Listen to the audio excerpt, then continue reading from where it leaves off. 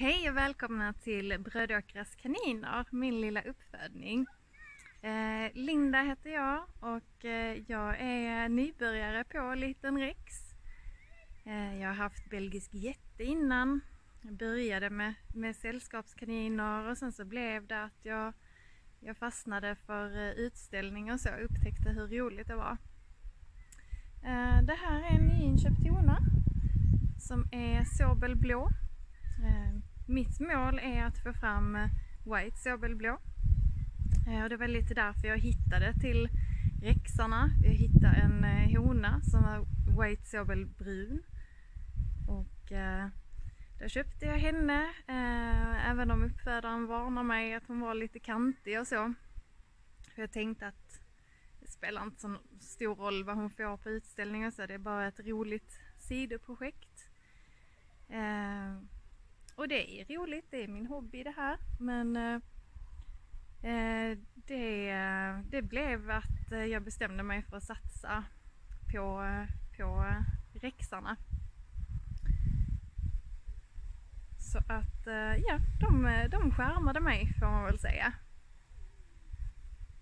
Um, hon här uh, har jag ännu inte sett um, färdigfälld så att eh, vi får se hur, hur pälsen blir.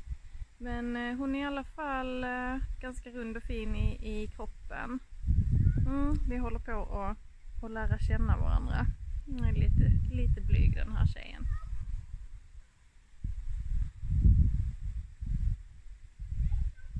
Men jag ska visa lite hur det här ser ut först tänkte jag. Bakom mig här så har vi kaninboden som jag skaffade förra året. Och här där vi står nu är tanken att det ska bli en eh, stor hage där jag ska kunna släppa ihop eh, alla utställda honor tillsammans sen. Sen har jag även ett, eh, ett litet häng som jag ska visa er. Det är bara att hänga med. Så här ser det ut i boden. Um, och det är ju rätt så rymliga burar. De är ju gjorda för belgiska jättar. Men jag tycker att de funkar väldigt bra till eh, smårexarna också för att de är rätt så, så aktiva och tycker om att springa runt och göra glädjeskutt. Eh, vi gjorde skitdörrar här, vilket funkar väldigt bra tycker jag. Hej Max! Det här är eh, min, eh, min första hane, då, min inköpta hane. Som jag köpte för att ehm, ha till min eh, White Sobel hona. Och jag märkte ju ganska snabbt att White Sobel inte är en färg som, eh, som växer på träd direkt. Um, utan um, då, eh, då valde jag att satsa på att otterteckningen skulle bli bra. Och så hoppades jag att Max skulle bära på vit rödögd så att han kunde ge Sobel. Eh, och det hade han längre bak i stamtavlan. Men eh, det blir det inte så med ungarna. Men jag är väldigt glad för honom ändå. Han eh, det gick bra för honom. Vi var iväg på första utställningen nu eftersom det har varit pandemitider. Men han gjorde bra ifrån sig. Och så har vi hans eh, son bredvid här. Jag ska visa lite skillnaden på, på utterteckningen för att eh, Max då, han har ju en förälder som är enfärgad. Och sen så, så en som är ottertecknad.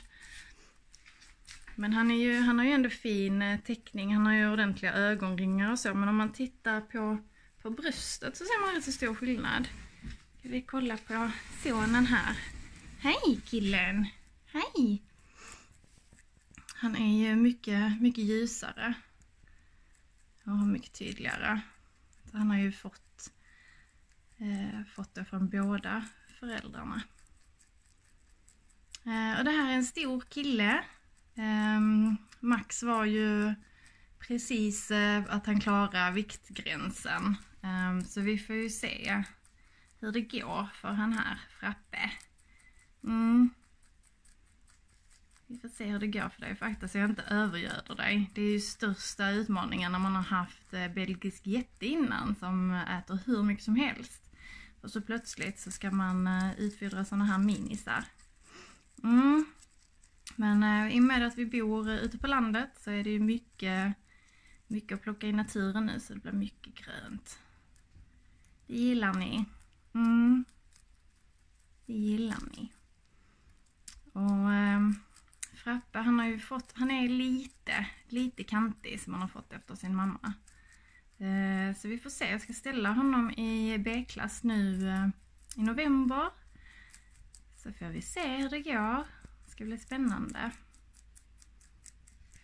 Och här under eh, ska honorna i kullen då som jag ska spara, de ska flytta in ehm, idag har jag tänkt. Um, sen eh, i framtiden så har jag tänkt att jag eh, ska ha hanar här inne. Och eh, det kommer bli en till bur där i hörnet. Och sen här inne så ska jag ha honor i grupp, har jag tänkt. Mm väl Egentligen allt eh, inne i boden. Sen eh, är man ju aldrig färdig utan man har alltid projekt. Eh, och här då intill husväggen är tanken att jag ska bygga fler burar då som jag ska ha till, till honor som inte har ställts ut än. Och så förhoppningsvis ett litet tak över så det inte regnar på mig på vintern. Så det, det, det är nästa grej. Här där eh, hagen ska vara eh, har vi faktiskt precis eh, jämnat ut och sått gräs och sen så har jag pytsat ut lite stockar och stenar och jag har även försökt eh, plantera lite grejer som är kaninvänliga att äta på så får vi se om det får vara kvar sen. Här har jag en eh, pil. Ja, det förtjänar väl inte att kallas träd, men det är dedikerat till kaninerna. Det är deras mat bara. Och här har vi hängnet, där jag just nu har en mamma med, med en kull som börjar bli stora, så att de ska få flytta ut idag. Hej tjejer! Hej!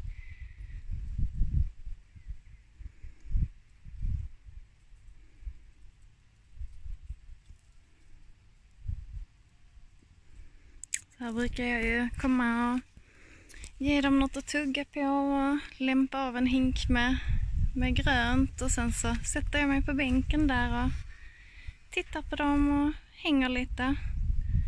Det är väldigt mysigt.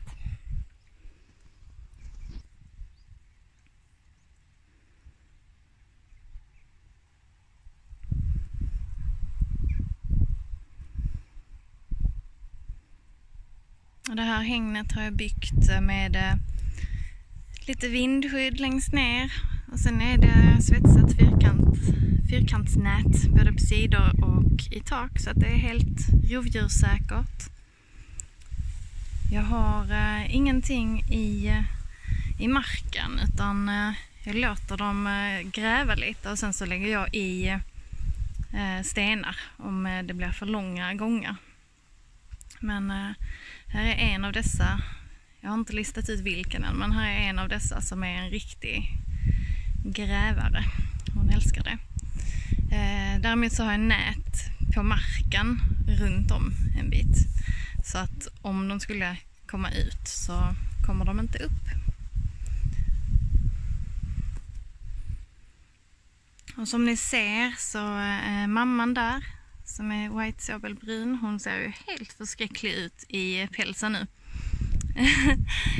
Fällning pågår.